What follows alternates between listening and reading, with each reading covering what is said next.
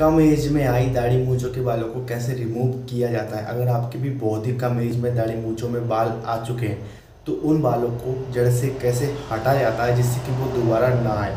Hi guys I am Anil welcome to my channel बहुत से लोगों की ये प्रॉब्लम्स रहती है कि उनकी तेरह या चौदह साल की एज में ही दाढ़ी मूछ आ जाती है। ये दाढ़ी मूछों की प्रॉब्लम नहीं रहती। ये हाइट और माइंड जो थिंकिंग रहती है ना, उसकी प्रॉब्लम्स रहती है। लोग कमेंट्स मारने लग जाते हैं। कि तेरी बहुत ही कम एज में दाढ़ी आ गई तो बहुत बड़ा हो गया। यानी कहीं ना कहीं आपकी एज को लेके आपके ऊपर क्वेश्चन उठते हैं। और कहीं ना कहीं आपकी हाइट को लेकर भी कि तेरी हाइट इतनी रह गई, तेरी दाढ़ी मूछ आ गई इसी कारण आप, तुम्हारी हाइट इतनी रह गई है। तो ऐसे क्वेश्चन आपको हर दिन सुनने को मिलते हैं। लोगों का काम है बोलना, वो बोलते हैं। लेकिन आप अगर नहीं चाहते हो कि ये आपके दाढ़ी के बाल हैं, उनको हमको बड़ा नहीं करना, अगर आपको बड़ा नहीं करना तो आप उसको रिमूव कैसे कर सकते हो? आपने इसके लिए बहुत सारे ट्रीटमेंट यूज़ भी कर रखे होंगे, जैसे कि नेचुरल ट्रीटमेंट जो आप कर सकते हो, दाढ़ी के बालों की ग्रोथ कम करने के लिए ट्रिमिंग होता है। और अगर आप सेविंग करोगे तो और भी ज़्यादा आपके बाल बढ़ने लग जाते हैं। तो ये प्रॉब्लम्स अक्सर बहुत से लोगों के पास या बहुत से लोगों के साथ होती है। मेरे वीडियोस पर इतनी सारी कमेंट्स आती हैं, तेरह चौदह साल के जो बॉयज़ हैं, वो बहुत ही ज़्यादा परेशान हैं। मेरी बहुत जल्दी दाढ़ी आ गई तो मैं सर क्या करूँ? कौन सा ट्रीटमेंट यूज़ करूँ? मुझे इसके बारे में कुछ नहीं पता। बस मुझे मेरी दाढ़ी के बाल कम करना है या फिर उनको रिमूव करना है।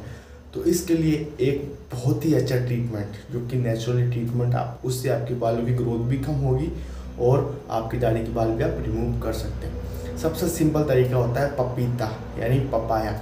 आप जब उसका सेवन करते हो जब आप पपीते को खाते हो तो उससे आपकी बालों की ग्रोथ बहुत ही कम होने लग जाती है। जब आप तेरह चौदह साल के हो तो आपको दाढ़ी तो नहीं चाहिए ऑब्वियसली आप स्कूल लाइफ में हो या आप बच्चे हो तो बच्चों के दाढ़ी वैसे भी अच्छी नहीं लगती। तो इसके लिए आप पपीता खा सकते हो, उससे आपके दाढ़ी मूछों की ग्रोथ बहुत ही कम होने लग जाएगी। ये एक नेचुरल तरीका रहता है। जब भी आपको लगे कि हमको, हमारी दाढ़ी दोबारा बड़ी करना है तो आप उसको खाना छोड़ सकते हो। और आप ये लगाने का ट्रीटमेंट भी मैं आपको बताने वाला हूँ। आपको पपीते का जो ऊपर का छिलका रहता है, उसको निकाल के फेंक देना है, बाकी को आपको मिक्सी में पीस लेना या फिर मिक्सी में उसको मिक्स कर लेना है। इसमें आपको एक चम्मच, या आप जितने भी आपकी दाढ़ी है, आपके बाल है, आपका फेस है, उतने आपके बाल रिमूव करना है तो इसमें उसके हिसाब से आप हल्दी मिक्स कर सकते हैं।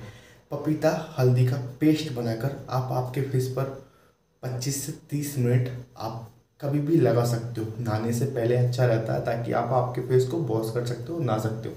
तो इसके आपके बालों पर लगाए। जैसे ही ये सूखे तो आपको स्लोली स्लोली हाथ फेरना है। वो हाथों से, वो हाथों में आपके बाल निकल के आ जाएँगे। तो ये बहुत ही आपको बिल्कुल भी प्रॉब्लम नहीं होगी।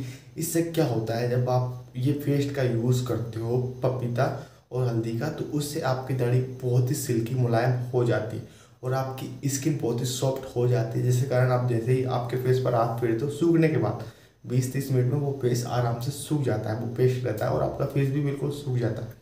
तो आप स्लोली आपके फेस पर जैसे ही हाथ फेरोगे तो बत्ती चीज़ निकलेगी और उसी बत्ती में आपके हेयर्स आ जाएँगे। तो ना तो इससे आपको पेन होगा, ना आपके फेस पर पिंपल्स होते हैं। बहुत से लोग क्या करते हैं, जो धागे से निकालते हैं या फिर जो ज़बरदस्ती निकालते हैं, इसके ऊपर ही मैंने वीडियो बनाया है कि फेस पर ज़बरदस्ती दाढ़ी मूछ निकालने से क्या क्या प्रॉब्लम्स हो सकती है। अगर आप भी ऐसा काम करते हो तो आप उस वीडियो को वॉच कर सकते हो। और बहुत से लोग क्या करते हैं ट्रिमिंग करते हैं तो उससे दाढ़ी की ग्रोथ कम होती है। और अगर जिसको दाढ़ी के बाल ही नहीं चाहिए तो वो इस ट्रीटमेंट का विदाउट किसी सोच के विदाउट किसी थिंकिंग के, ये एक नेचुरली होता है। ये एक आयुर्वेदिक मान के चलो, इसके कोई साइड इफ़ेक्ट नहीं होते।